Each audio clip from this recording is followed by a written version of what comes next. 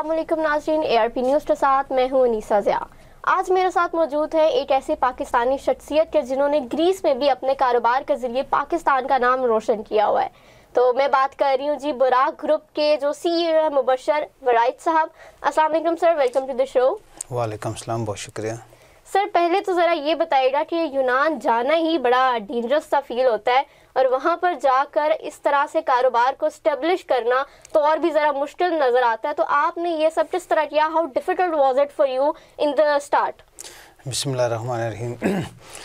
असल में ये आप ने बिल्कुल ठीक है क्योंकि ये चैलेंजिंग रूट है लेकिन खुशकिस्मती कह लें क्योंकि जब मैंने ये रूट 97 96 में क्योंकि मैं डायरेक्ट ग्रीस नहीं गया यूनान मेरा रूट थोड़ा सा डिफरेंट है क्योंकि सबसे पहले मैं स्विट्ज़रलैंड इटली और उसके बाद मुझे अपॉर्चुनिटी मिली ग्रीस में जाने की अच्छा। तो उस वक्त हालात भी बेहतर थे चीज़ें भी अच्छी थी हम्म। लेकिन आजकल ये वाकई एक बड़ा डेंजरस रूट है जो वाया तुर्की लोग यूज़ करते हैं तो बेहतर यही है कि आप उनको मेरी तरफ़ से तो ये है कि कम अज़ कम जो लीगल प्रोसेस है उसके ज़रिए यूरोप में आएँ तो वो ज़्यादा बेहतर है जी।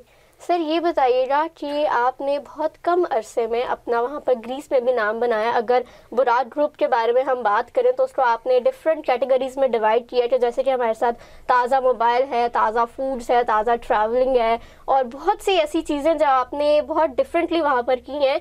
तो ये इनिशिएटिव आपने कैसे स्टार्ट किया? असल में जब भी हम बाहर जाते हैं किसी भी मुल्क में जाते हैं तो हमारे पास अब कोई ना कोई ऑब्जेक्टिव होता है। हर बंदे का बाहर जाने की कोई उसके लिए कोई कोई ना कोई ना कोई मोटिवेशन ऑब्जेक्टिव होता है।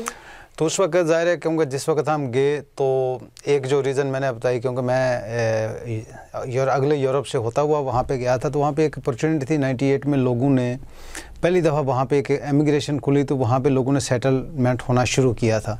तो हमारी जो एमिग्रेशन कम्युनिटी है वो वहाँ पे ग्रो कर रही थी।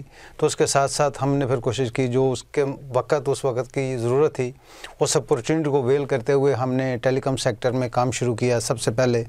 उसके बाद जो जैसे जैसे दो तीन दफ़ा फ़ेज़ टू थ्री में इमिग्रेशन खुली लोगों मज़ीद लोगों का वहाँ पे सेटलमेंट हुई तो ये एक जो रिक्वायरमेंट थी बेसिक उसको हमने मद्देनज़र रखते हुए जो हमारी कंपनियाँ मुख्तलिफ़ चीज़ों और सर्विसेज़ में लोगों को इंगेज करती गई। तो ज़रूरत भी थी और हमने इसको कह लें कि इस अपॉर्चुनिटी को ट्रांसलेट किया कारोबार में। ठीक है। सर ये आपको कितना अरसा हुआ ये बुराड ग्रुप को जो आपने कैटेगराइज किया है ये कितना अरसा हो गया आपको? देखिए जो जैसे मैंने कहा सबसे पहले हमने इसका आगाज़ किया था टेलीकॉम से क्योंकि 98 98 में जो वहाँ पे लोग थे उस वक्त जो। क्योंकि ग्रीस को यूज़ किया जाता है यूनान को एज ए एंट्रेस तो उसके बाद लोग अगले यूरोप में चले जाते थे। तो उस वक्त सबसे बड़ी जो रिक्वायरमेंट थी कम्युनिकेशन की क्योंकि लोग अपने घरों में कम्युनिकेशन करना चाहते थे तो उस वक्त उनके पास कोई सोल्यूशन नहीं था। तो हमने कॉलिंग कार्ड और जो उस वक्त का दौर था उसके मुताबिक इस बिज़नेस को स्टार्ट किया लेकिन 2010 में हमारी कंपनी ने वोडाफोन जो एक लीडिंग कंपनी है पूरे यूरोप में उनके साथ जॉइंट वेंचर किया और हमने कोशिश की कि ज़्यादा से ज़्यादा आसानी पैदा की जाए। और क्योंकि इस वक्त आने वाले जैसे आजकल सब लोग डाटा यूज़ कर रहे हैं तो मेन जो वजह थी वो लोगों को करीब लाने की टेलीकम्युनिकेशन था। तो उसके बाद जैसे जैसे फिर लोगों की रिक्वायरमेंट बढ़ती गई हम भी सर्विसेज़ को करते गए मुख्तलिफ़ जैसे सेक्टर्स में जैसे आपने ट्रैवल का कहा। और अभी रिसेंटली अभी हमने वहाँ पे ताज़ा हेल्थ केयर के नाम से एक प्रोजेक्ट शुरू किया क्योंकि जब से ये कोविड आया तो लोगों की लोग ज़्यादा हेल्थ कॉन्शियस हो गए तो उसके लिए हम एक वन डे हॉस्पिटल का भी हमने स्टार्ट किया। है बिल्कुल सर ये भी बहुत अच्छा इनिशिएटिव है।